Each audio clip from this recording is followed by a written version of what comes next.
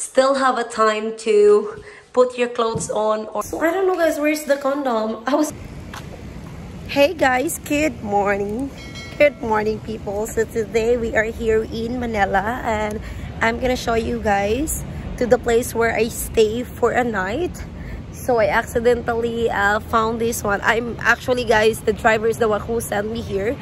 I supposed to check an in Hop Inn. Unfortunately they don't accept me. It because I am not fully vaccinated. So yeah that's why uh, I've been trying to search a hotel in the middle of the night and all is fully booked and this is the only available the hotel 2016 and I guess it's worth it. So I'm gonna show you guys the place.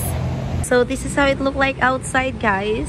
So this place it's like 20 minutes walk going to US Embassy so it's kind of quiet here and this is the hotel. There's a budget suite room 999 pesos but I paid 1,200 guys it because I'm going to stay here only for uh, 12 hours. I'm gonna check out at 1 and that's the name of the hotel 216 Manila. This is how it look like outside so if you're going to stay here for overnight it costs 1,700 pesos and it is free meals. And that's the reception area guys. All staff here are really good. They are very friendly. They are very accommodating guys. So so i guess um, this hotel it's kind of a love hotel. I'm gonna tell you more why later. So this is how it look like. Like if you are if you have a car guys and you're gonna check in here uh you can park your car over there if you are doing um if you have a secret affair. And let's go to next floor because that's where our room located so let's go.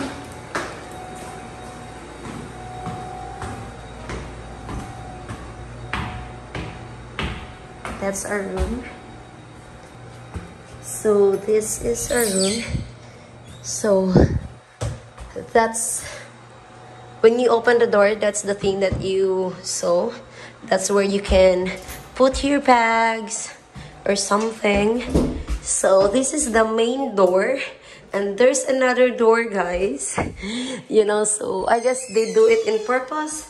So if you are if you have a secret affair and your legal wife will just come they cannot just open easily. So you guys still have a time to put your clothes on or the other girl or the guy can hide. So this is how it look like. Bedroom it's comfortable. Aircon work really good.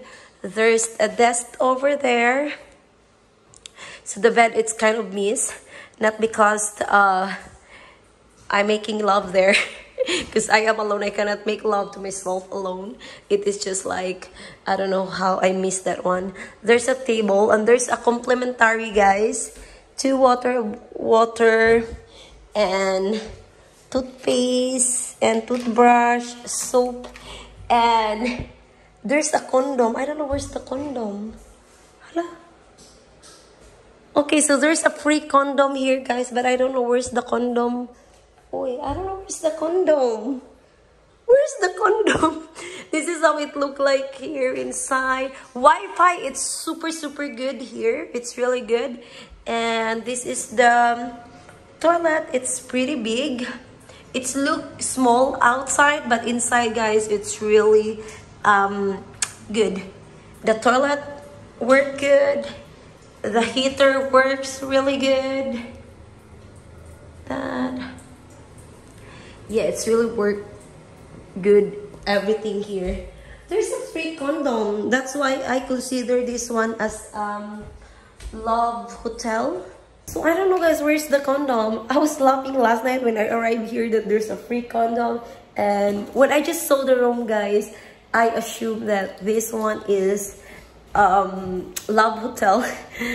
It because you know the way how it look and you know and of course there's a condom. The condom is the one who make me make me you know make me confirm that okay this one is a love you know love hotel. And they have a menu guys that you can check if you want to eat here.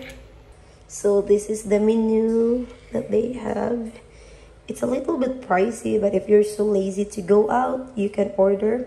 Actually this morning i tried their um what's that? Uh spanish something. Spanish food and it costs 205 and it's worth it. It's very delicious.